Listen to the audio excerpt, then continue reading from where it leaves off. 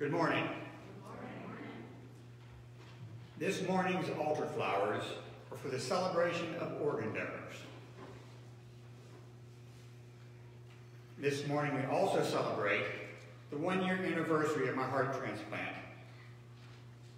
or as Cam and Gage call it, or as Cam and Gage call it, my heart anniversary.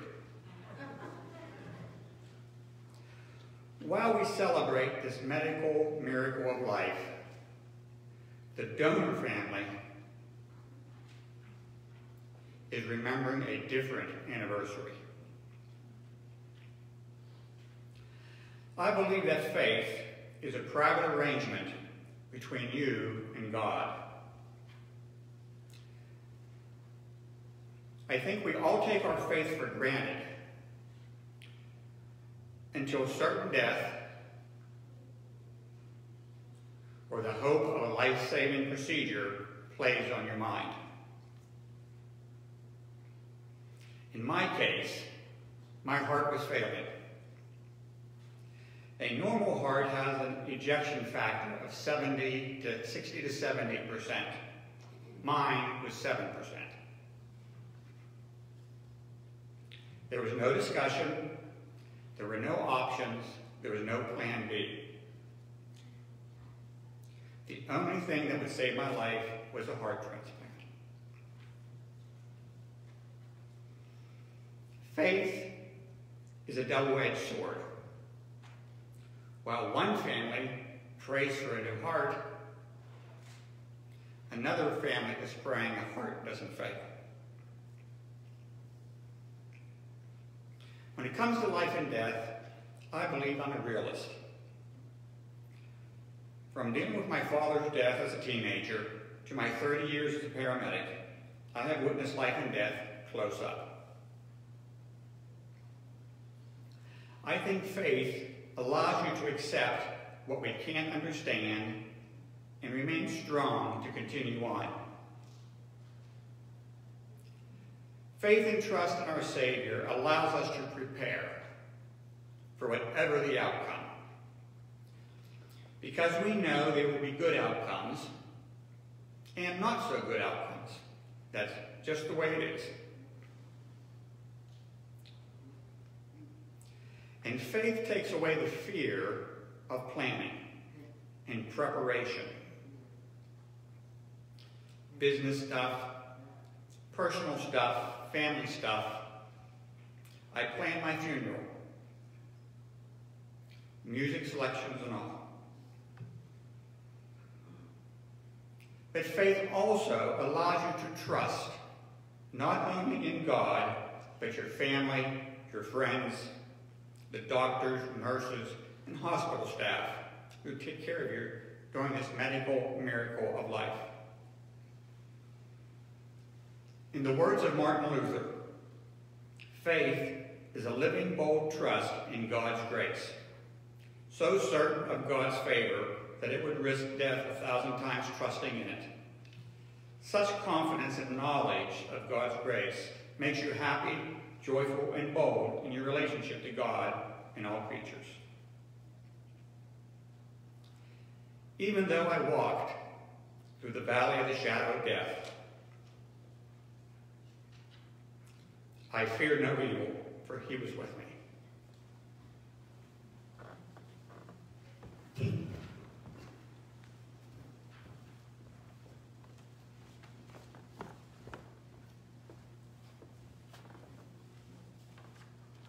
Please join me in standing. In the name of the Father, and of the Son, and of the Holy Spirit. Blessed be the Holy Trinity, one God, whose voice is upon the waters, whose mercy is poured out upon all people, whose goodness cascades over all creation. Amen. Let us confess our sin, trusting in the abundant grace of God. Holy God, you search us and know us. You are acquainted with all our ways. We confess that our hearts are burdened by sin, our own sins, and the broken systems that bind us. We turn inward, failing to follow your outward way of love. We distrust those who are not like us, We exploit the earth and its resources and fail to consider generations to come. Forgive us, gracious God, for all we have done and left undone. Even before the words are on our tongues, you know them. Receive them in your divine mercy. Amen. How vast is God's grace! Through the power and promise of Christ Jesus, our sins are washed away, and we are claimed as God's own beloved. Indeed, we are forgiven. In the wake of God's forgiveness, we are called to be the beloved community, living our Christ justice and Spirit's reconciling peace. Amen.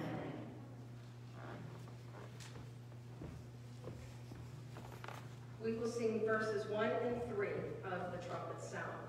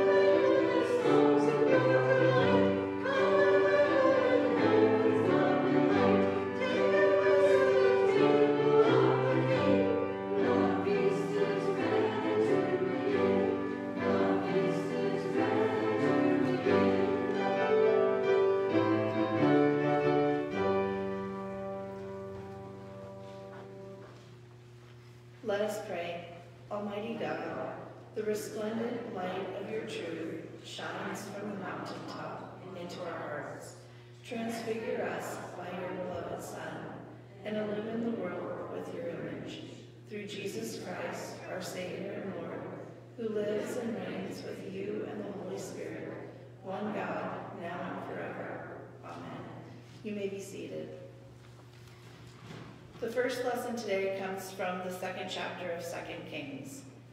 Now when the Lord was about to take Elijah up to heaven by a whirlwind, Elijah and Elisha were on their way from Gilgal. Elijah said to Elisha, Stay here, for the Lord has sent me as far as Bethel. But Elisha said, As the Lord lives and as you yourself live, I will not leave you. So they went down to Bethel. The company of prophets who were in Bethel came out to Elisha and said to him, do you know that today the Lord will take your master away from you?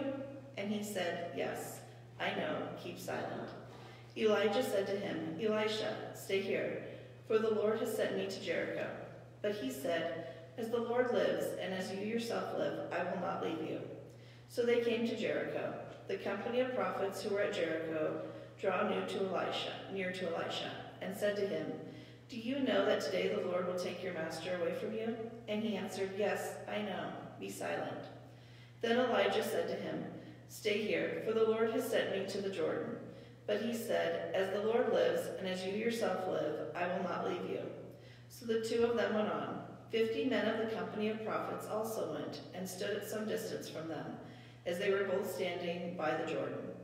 Then Elijah took his mantle and rolled it up, and struck the water the water was parted to one side and to the other, until the two of them crossed on dry ground. When they had crossed, Elijah said to Elisha, Tell me what I may do for you before I am taken from you. Elisha said, Please let me inherit a double share of your spirit.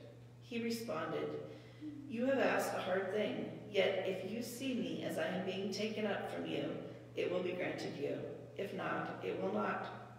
As they continued walking and talking, a chariot of fire and horses of fire separated the two of them, and Elijah ascended into a whirlwind into heaven. Elisha kept walking and crying out, Father, Father, the chariots of Israel and its horsemen. But when he could no longer see him, he grasped his own clothes and tore them in two pieces. Today's psalm is Psalm 50, verses 1 through 6. The mighty one God the Lord has spoken, calling the earth from the rising of the sun to its setting. Out of Zion, perfect in its beauty, God shines forth in glory. Our God will come and will not keep silence, with a consuming flame before and around about a raging storm. God calls the heavens and the earth from above to witness to the judgment of people. Gather before me my loyal followers, those who have made a covenant with me and sealed it with sacrifice. The heavens declare the righteous of God's cause, for it is God who is judge. The second lesson today comes from the fourth chapter of 2 Corinthians. Even if our gospel is veiled, it is veiled to those who are perishing. In their case, the God of this world has blinded the minds of the unbelievers to keep them from seeing the light of the gospel of the glory of Christ, who is the image of God. For we do not proclaim ourselves, we proclaim Jesus Christ as Lord, and ourselves as your slaves for Jesus' sake. For it is the God who said, Let the light shine out of darkness, who has shown in our hearts to give the light of knowledge of the glory of God in the face of Jesus Christ.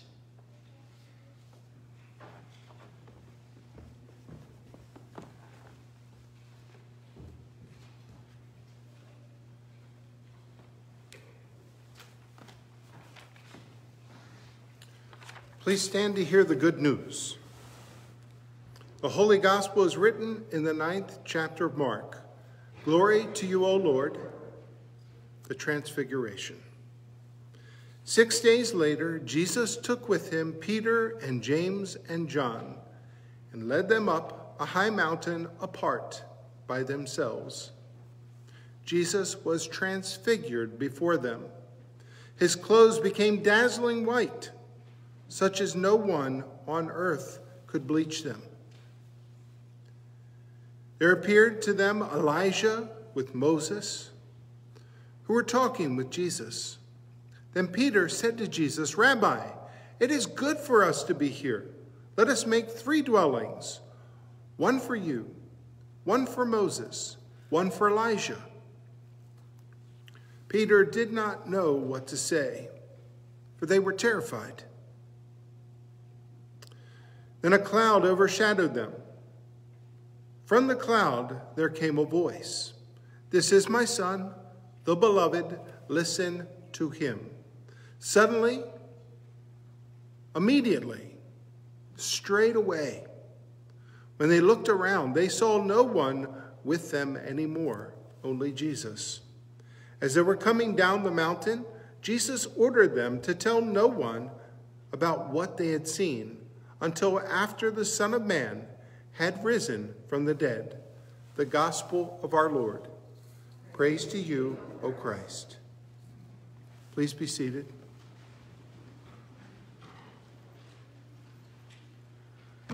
Reading a book that talks about oaths or vows. And one of the lines in the book is you should never make an oath, you should never make a vow or such a sacred promise unless you're willing to keep it until your last breath. Thought that was profound on such a day as this.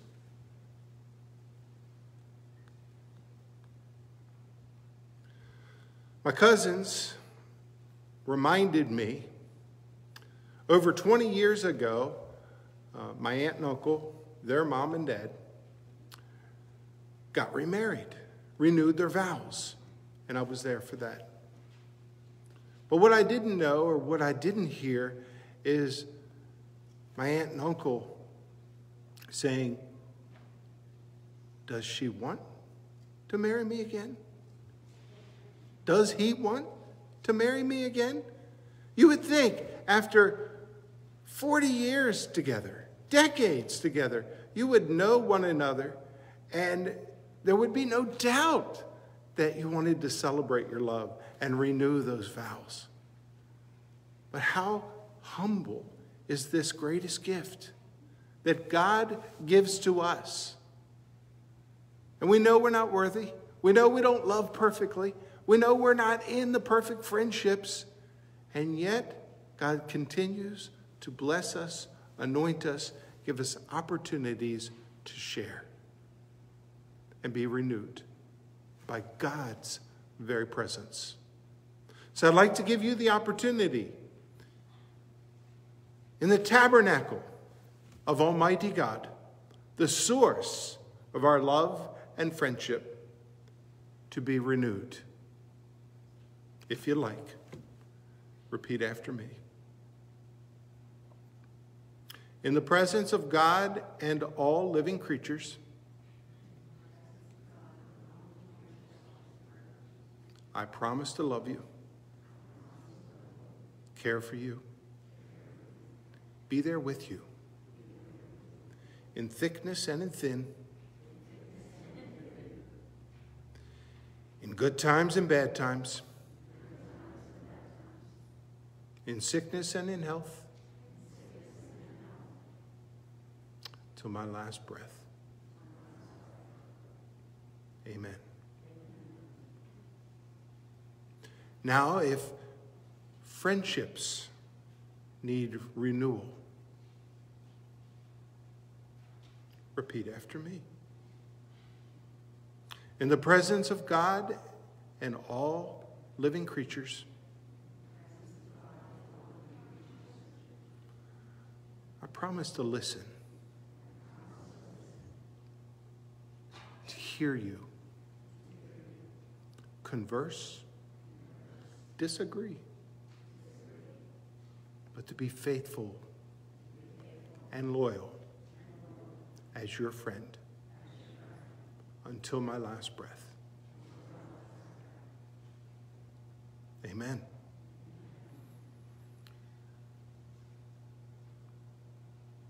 We can be fooled and deceived to take these vows, take these oaths, take these promises as just words. They're just words. But then in the presence of God, we're gathered as his children to be renewed and restored in such a way that God's divinity, God's light, God's very presence is made clear and overwhelms. Not for us to look good. Who here loves perfectly, is a friend perfectly?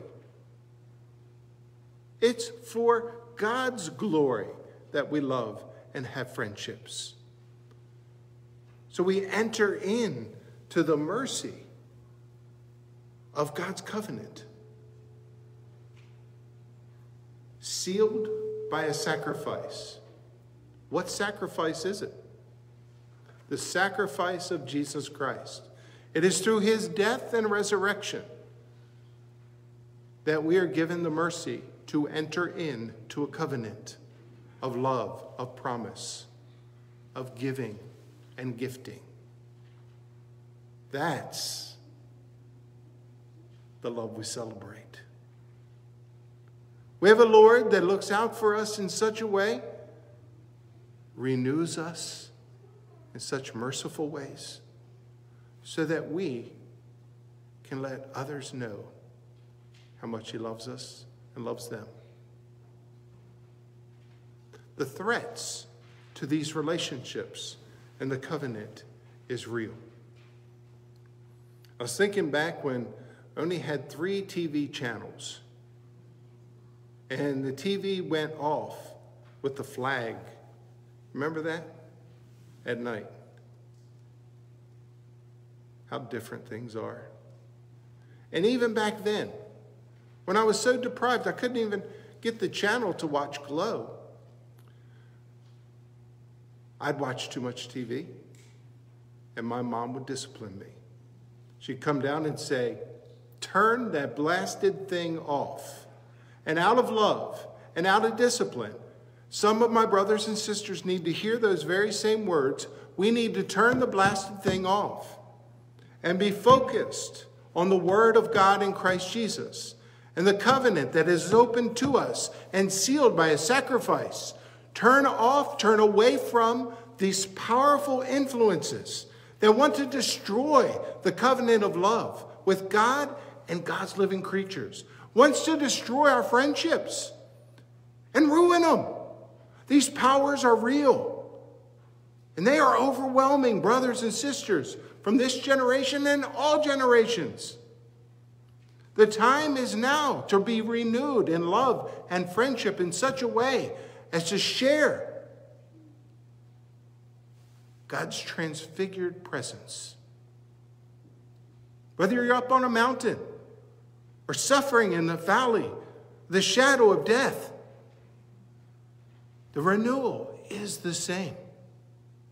There are many ways in the rich history of Christianity to celebrate the Sundays leading up to Lent. Lent will begin Wednesday. There'll be a service at 11. There'll be a service at 7, God willing.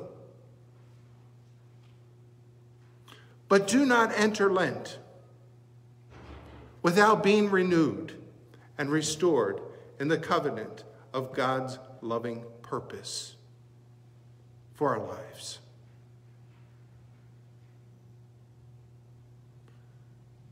Second Corinthians. You heard the text. There's a veil of disbelief. The trust and the faith is destroyed, not only between us and God, but between me and you. Because of this veil of disbelief and distrust, this veil of ignorance and blindness.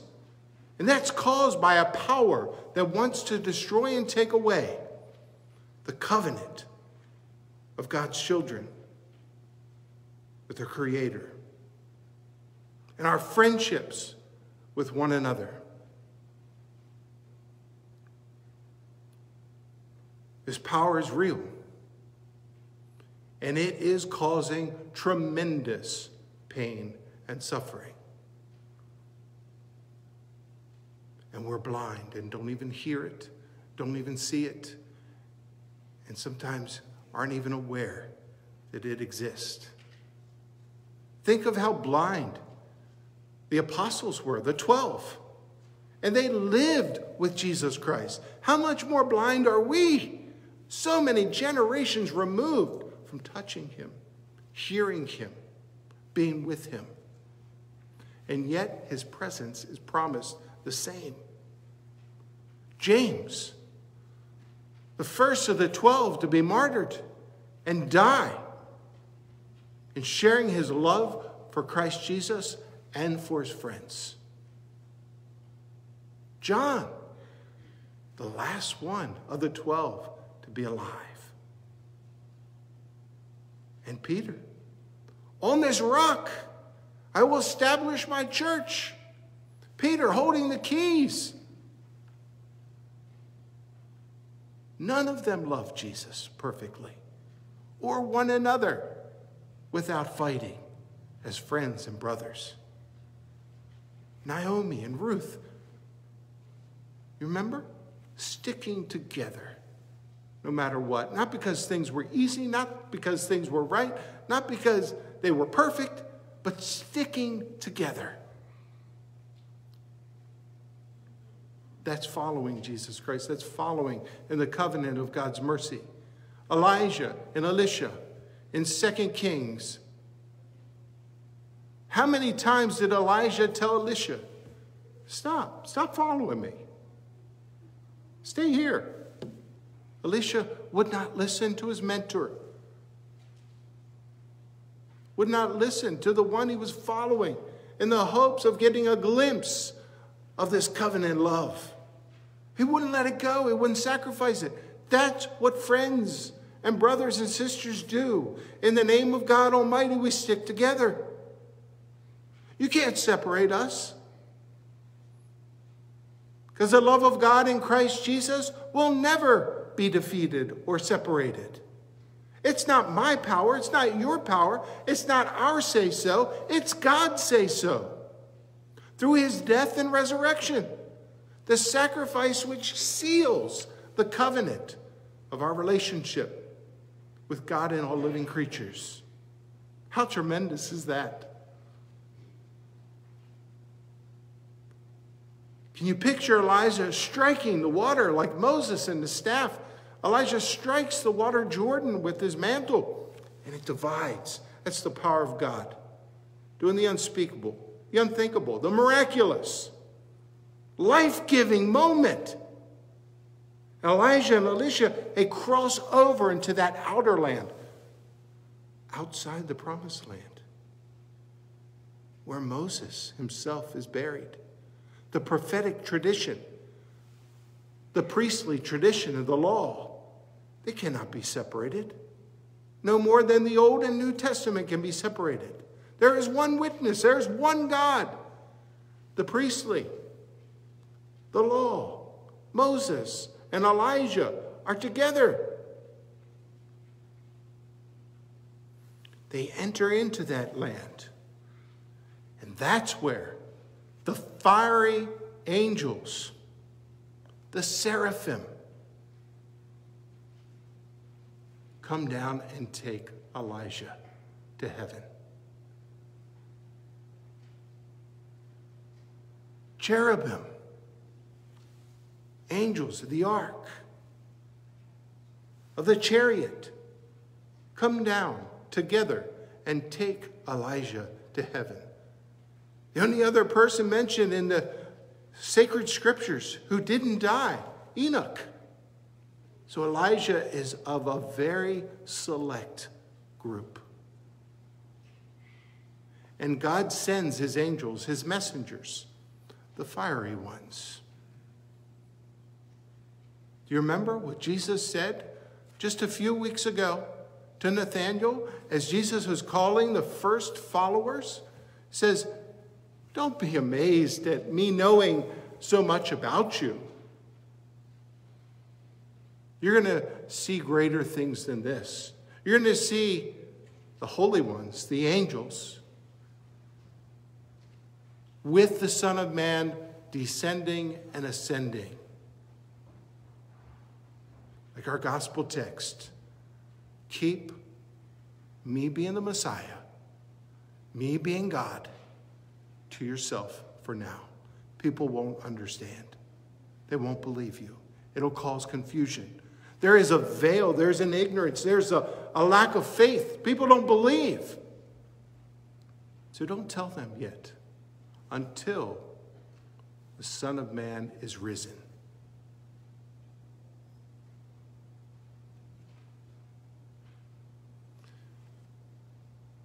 What is it that you're facing that is causing your ability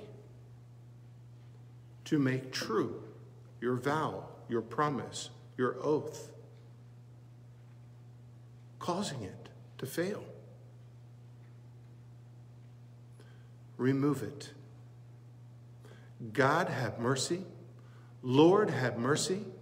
Remove that which is not helpful in keeping my promises to you and to one another. Before I enter into following you in this Lenten journey, make me renewed to follow you. In Jesus' name, amen.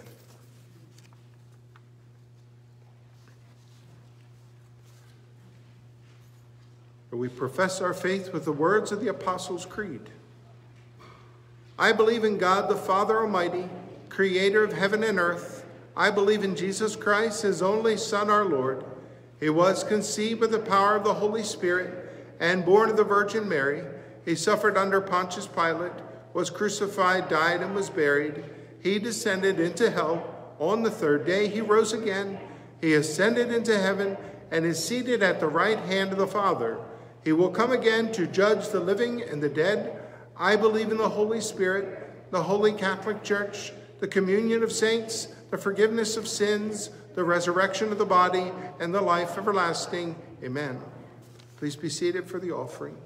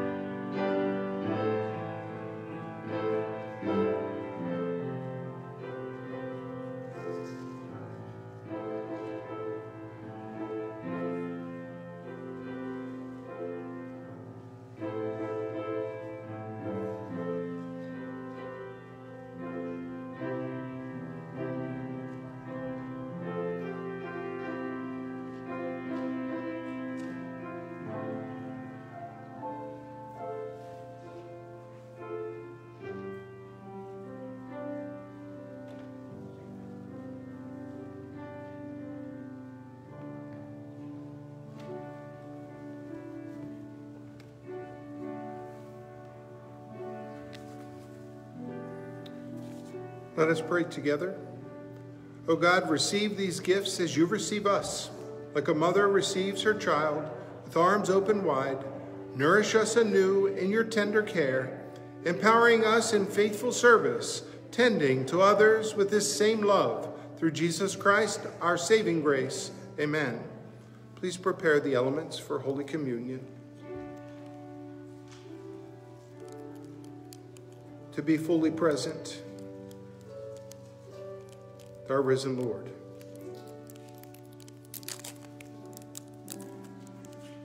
In the night in which he was betrayed, our Lord Jesus, he took the bread, he gave thanks, he broke it and gave it to his disciples, saying, Take and eat. This is my body given for you. Do this for the remembrance of me, the body of Christ given for you.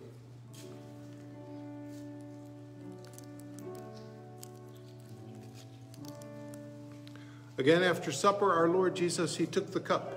He gave thanks and gave it for all to drink, saying, This cup is the new covenant in my blood, shed for you and for all people for the forgiveness of sin. Do this for the remembrance of me, the blood of Christ shed for you.